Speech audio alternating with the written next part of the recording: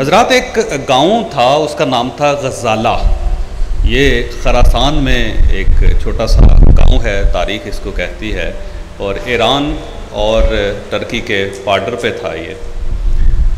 آپ کو پتہ ہے کہ آج سے ہزار سال پہلے تک تعلیم ایک بہت بڑی لگژری ہوتی تھی اور اس کو خریدنا پڑتا تھا۔ اگر آپ خرید سکتے ہیں، تو آپ اپنے آپ کو عالم کہلا سکتے ہیں۔ آپ کے لیے علم آسان ہو سکتا ہے۔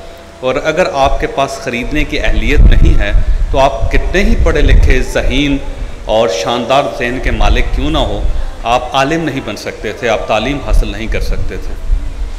اس زمانے میں امیر لوگ ٹیوٹرز رکھتے تھے، مینٹر رکھتے تھے، اساتذہ کا بندوبست کرتے تھے جو دور دراز علاقوں سے آ کے ان امیر لوگوں کے بچوں کو پڑھاتے تھے۔ اس غزالہ گاؤں میں ایک امیر آدمی تھا اور اس نے شہر سے ایک استاد کا بندوبست کیا جو اس کے صاحبزادے کو گاؤں میں پڑھانے کے لیے آتا تھا۔ امیر شخص نے اس کو گھوڑا دیا استاد کو۔ وہ استاد گھوڑے پہ گاؤں آتا، اس کے بچے کو پڑھاتا، پڑھانے کے بعد واپس چلا جاتا۔ اس گاؤں میں ایک بچہ تھا جس کو پڑھنے کا بہت شوق تھا۔ اسے یہ محسوس ہوتا تھا اس بچے کو کہ میں اگر علم کی طرف چلا جاؤں تو میں سوسائٹی کے لیے بہت کچھ کر سکتا ہوں۔ وہ بچہ ایک دن استاد کے پاس گیا اور اسے کہنے لگا کہ آپ کیونکہ اس گاؤں میں روز آتے ہیں؟ میری درخواست ہے کہ آپ اگر تھوڑا سا مجھے پڑھا دیا کریں تو اس سے میں علم تک پہنچ سکوں گا میری زندگی آسان ہو جائے گی۔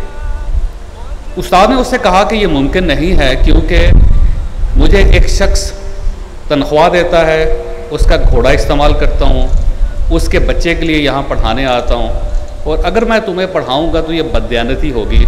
میرے اس پیشے کے ساتھ یہ ممکن نہیں ہے۔ بچے نے استاد کے ساتھ ایک ڈیل کی۔ اس نے کہا، دیکھیے سر، جب آپ یہاں پہنچ جاتے ہیں، ان کے گھر، تو اس کے بعد اس میں کوئی شک نہیں ہے کہ ایمان کا تقاضا ہے کہ آپ اس کے بچے کو پڑھائیں۔ لیکن جب آپ واپس جا رہے ہوتے ہیں شہر کی طرف، تو وہ جو عرصہ ہے، وہ آپ کا اپنا ہے، اپنا دورانیہ، اپنا وقت ہے۔ آپ اس دوران مجھے پڑھا سکتے ہیں۔ تو استاد نے کہا کہ بیٹا میں یہ کیسے کر سکتا ہوں کیونکہ ظاہر میں تو واپس پہنچنا ہوتا ہے شہر، تو میں کیسے تمہیں رک کے پڑھا سکوں گا؟ تو بچے نے اس کے ساتھ ڈیل یہ کی استاد کے ساتھ کہ آپ گھوڑے پہ بیٹھے گھوڑا دوڑائیں، شہر کی طرف جائیں۔ میں آپ کے ساتھ ساتھ آپ کے گھوڑے کے ساتھ ساتھ دوڑتا رہوں گا۔ آپ گھوڑے پر بیٹھ کے پڑھاتے رہیں، میں اس کو یاد کرتا رہوں گا۔ اور اس طرح آپ کا وقت بھی ضائع نہیں ہوگا، آپ اپنے شہر پہنچ جایا کریں گے اور مجھے بھی کچھ سمجھ آ جائے گی زندگی کے بارے میں۔ اب استاد روز امیر جو خان صاحب تھے، اس کے بچے کو پڑھانے کے لیے گاؤں آتا، جب وہ واپس جا رہا ہوتا تو اس کے گھوڑے کے ساتھ ساتھ وہ بچہ بھاگتا بھاگتا بھاگتا پڑھتا جاتا اور چیزیں یاد کرتا جاتا۔ استاد اس کی اس مشقت سے بڑا حیران ہوا کہ پانچ چھ کلومیٹر روز بھاگتا ہے بچہ اور ساتھ ساتھ یاد بھی کر لیتا ہے چیزوں کو۔ کچھ عرصے بعد استاد نے اس کو ایک اور سہولت دے دی۔ اس نے یہ کہا کہ اگر تم صبح شہر آ جایا کرو اور جب میں شہر سے گاؤں کی طرف آنے لگوں تو تم اسی طرح گھوڑے کے ساتھ بھاگتے بھاگتے پڑھ لیا کرو۔ واپسی پہ تم دوبارہ گھوڑے کے ساتھ بھاگو شہر تک آؤ تو پڑھ لو۔ بچے نے یہ ڈیل بھی قبول کر لی۔ اب ہوتا یہ تھا کہ وہ استاد شہر سے نکلتا تھا۔ بچہ اس گھوڑے کے ساتھ ساتھ بھاگتا ہوا گاؤں پہنچتا تھا اور اس کے بعد جب وہ استاد پڑھا کے واپس جاتا تو وہ اس کے ساتھ ساتھ بھاگتا بھاگتا وہاں تک چلا جاتا۔ اس بچے نے چھ سال تک اس طرح پڑھا۔ اور اس گھوڑے کے ساتھ بھاگ بھاگ کے وہ پڑھتا رہا، آگے بڑھتا چلا گیا۔ بعد میں استاد کا کی جاب ختم ہو گئی۔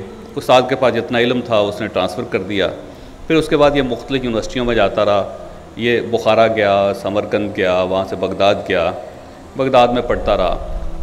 تاریخ اس شخص کو دو حوالوں سے جانتی ہے۔ ایک تو دنیا میں جس جگہ بجٹ بنتا ہے، اس بجٹ کا خالق یہ تھا۔ ایسے دنیا کو بجٹ کا تصور دیا، اس سے پہلے بجٹ کا کوئی تصور دنیا میں نہیں تھا۔ آپ اپنے خاندان میں، اپنے گھر میں، اپنی دکان میں، اپنی فیکٹری کے لیے جو بجٹ بناتے ہیں، اس کا تصور اس اس شخص نے دیا تھا۔ دنیا میں دو سو پنتالیس ممالک ہیں، دو سو پنتالیس ممالک میں بجٹ بنتا ہے۔ اس بجٹ کا تصور اس بندے نے دیا تھا۔ اس نے یہ پہلی مرتبہ تصور دیا تھا کہ علم دو قسم کا ہوتا ہے۔ ایک علم کا تعلق دنیا کے ساتھ ہے، دوسرے علم کا تعلق دین کے ساتھ ہے۔ اس شخص کا نام جو چھ سال تک گھوڑے کے ساتھ بھاگ بھاگ پہ کے پڑھتا رہا، اس شخص کا نام امام غزالی ہے۔ اور یہ غزالہ گاؤں کا رہنے والا تھا اور اس گاؤں کی وجہ سے ان کا، ان کو امام غزالی کہا جاتا ہے۔ تاریخ کو دیکھیں تو بڑی دلچسپ بات ہے کہ ہمارا کنٹریبیوشن بہت تھا، لیکن ایک وقت ایسا ہے کہ جس میں ہم نے سوچ لیا کہ دنیا ہماری نہیں ہے اور دنیا کا بندوبست جو ہے، یا یہودی کرے گا یا عیسائی کرے گا یا ہندو کرے گا یا سکھ کرے گا، اس کا بندوبست میں نے نہیں کرنا۔ اور دین کیونکہ میرا ایک پرائرٹی ہے اور میں نے صرف دینی علوم تک رہنا ہے۔ یہ ایک ایسی رفت تھی جس نے ہمیں آج تنہا کر دیا دنیا میں۔